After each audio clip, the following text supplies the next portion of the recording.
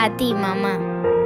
Quiero decirte lo mucho que te quiero y darte las gracias por enseñarme a valorar y a querer de la manera más bonita que existe.